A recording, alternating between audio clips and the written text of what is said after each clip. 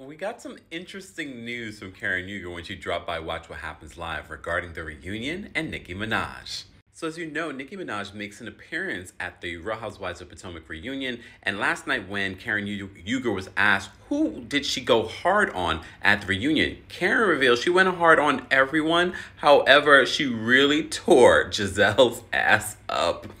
That's a quote. So the rumors that she really went hard on Candace, I don't know if they were necessarily true or just exaggerated, but she does have a conversation with Candace about her music career. And if you're gonna get music career advice from anyone, Nicki Minaj is a pretty good person to get one from.